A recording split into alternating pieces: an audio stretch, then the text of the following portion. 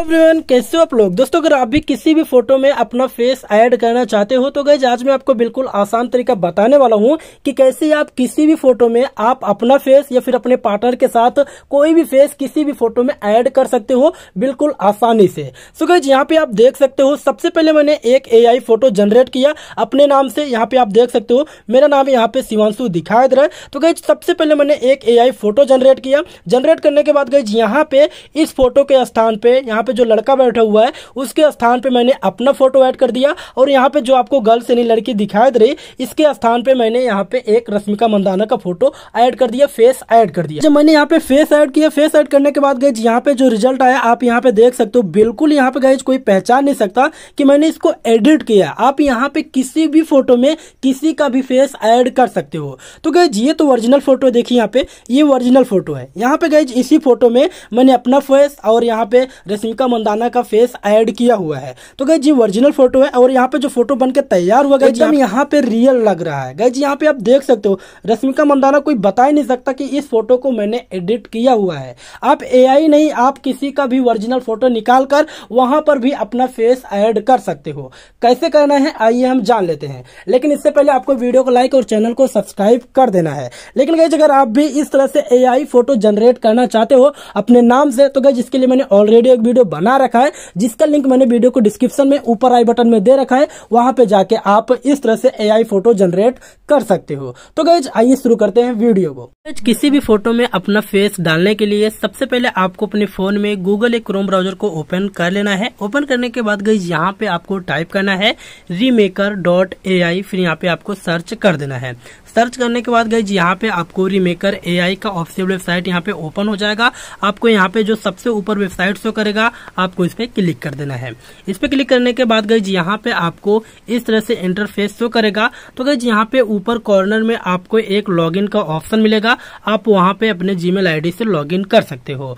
Login करने के बाद गई यहाँ पे आपको मल्टीपल फेस स्वाइप का ऑप्शन मिलेगा। आपको इस पे क्लिक कर देना है।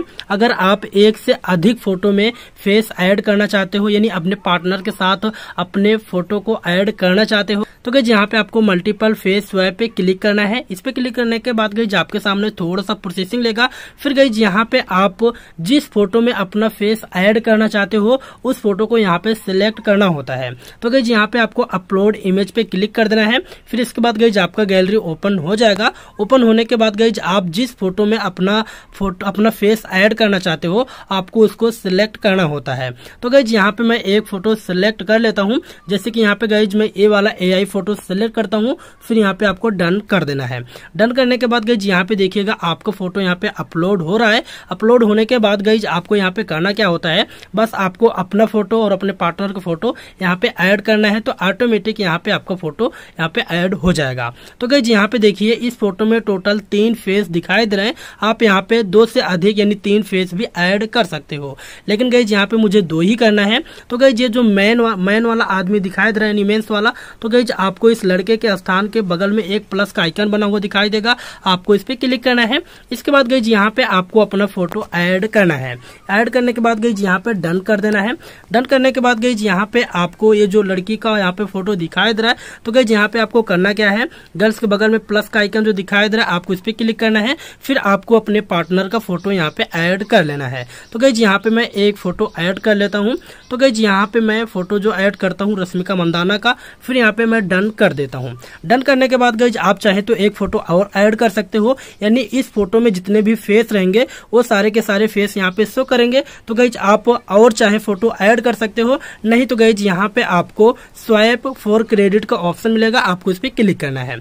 इस पर क्लिक करने के बाद गई थोड़ा सा प्रोसेसिंग लेता है। फिर आपका फ़ोटो यहाँ पे जनरेट हो जाता है। तो गई यहाँ पे आपको थोड़ा सा वेट करना होता है, देखिएगा। मैंने यहाँ पे कर दिया तो यहाँ पे थोड़ा सा प्रोसेसिंग लेता है। फिर आपका फ़ोटो आपके सामने यहाँ पे जनरेट हो जाएगा। सो गैज बिल्कुल ही आसान है, आपको ज़्यादा परेशान नहीं होना है। तो गई अगर आप भी इस तरह से एआई फ़ोटो जनरेट करना चाहते हो तो गई जिसके लिए मैंने ऑलरेडी एक वीडियो बना रखा है, जिसका लिंक मैंने वीडियो को डिस्क्रिप्शन में और आई बटन में दे रखा है। आप वहाँ पे जाके एआई फ़ोटो जनरेट कर सकते हो। कैसी भी एआई फ़ोटो हो, आप वहाँ पे जनरेट कर सकते हो। तो गैज कुछ सेकंडों में ही आपका फ़ोटो यहाँ पे बन के तैयार हो जाएगा। देखिए गैज यहाँ पे ये फ़ोटो यहाँ पे क्रिएट हो गया है जनरेट हो गया है। अब आपको यहाँ पे गैज करना क्या होता है? आपको यहाँ पे डाउनलोड बटन पे क्लिक कर देना है तो आपका फ़ोटो यहाँ पे डाउनलोड हो जाएगा।